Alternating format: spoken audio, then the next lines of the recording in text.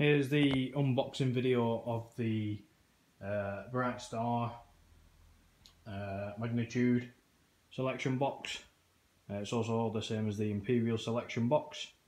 Um, and that's versus a Firework King selection box. They are both the same size, both got ridiculous RRPs, um, but me and another member, JT, thought it'd be a good idea to uh, do an unboxing video and we'll have a look what we've got inside. Um, so the Bright Star Imperial, or the, Mag the Magnitude as it is from JTF, um, is the RRP is 129.99.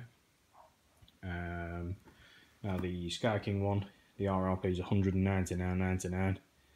Uh, the Sky King one can be had for around about £60 I think it is. Um, and the Magnitude one is 71.99 from JTF. Um, so in the Magnitude you get 50 pieces. Uh, in the Firework King one you get 30. Um, although the Firework King one to me uh, looks a lot better. The packaging feels a lot better. Um, the cakes are a lot larger, but we'll go on to those in a sec. Um, the Magnitude box, the paper feels really cheap. It's matte instead of glossy. Um, there is a couple of differences between the boxes. Obviously the quantity. Um, you do get a couple of wheels with the uh, magnitude box, um, but in the Firework King box you don't. So let's have a look at some uh, NECs. Um, so we've got in here, uh, I think it's six, one, two, three, four, five, six. Yep, six um, Lickle cakes in the Bright Star box. Uh, the bore is just ridiculously small. Um, whereas versus the Firework King, obviously you can see the cakes are a lot larger. Just check out the bore difference. As you can see, much bigger, much better in my opinion. Um, although Firework King's obviously going to get slated for being a cheap brand with overinflated RRPs, but once again, compared to the Bright Star box, for me, it does feel much better. Uh, much more quality. Um, so we'll have a look. So we've got 80 gram in this cake versus, where are we? 26 and a half gram in that one.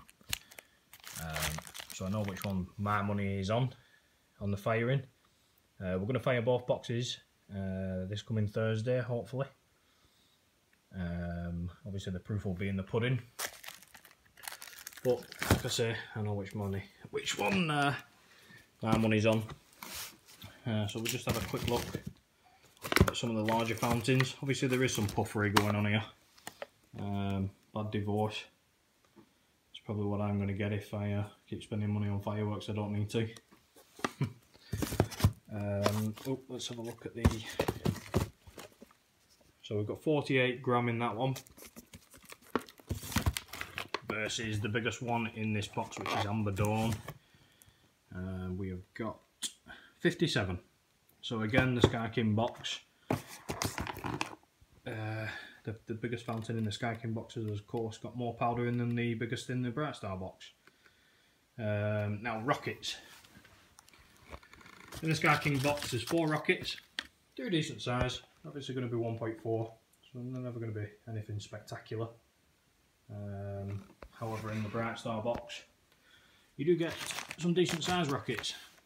You get four Trailblazers um, and four Master Blasters. So you're getting a good amount of rockets, I suppose. Um, let's just have a look. 17 gram each in the Master Blasters. Um, whereas the Sky King ones have got... Uh, where are we? If I can uh, see it. 14 grams. Um, again, the Sky King box has got 300 shot missile cake in it. Uh, the Bright Star box has got a 200 shot missile cake in it. both got Roman candle barrage in, 56 shot, uh, and the Bright Star one. I imagine that in the Firework King box, just there. I imagine that's the same same shots as well. Uh, got 28 gram in that one, and in the Bright Star one, uh, 28 gram. Uh, so I imagine there's no difference between those two. Um, but yeah, once again, I do feel that the Firework King, as much as it will probably get slated as a brand, uh, does have a better quality feel to it. Um, I think the largest cake in the um, Firework King box, yeah, uh, 86 gram. Um, although, like I say, once again, you are getting less items, but you are getting bigger and better quality items uh, as a feel. Uh, but the proof will be in the pudding on Thursday.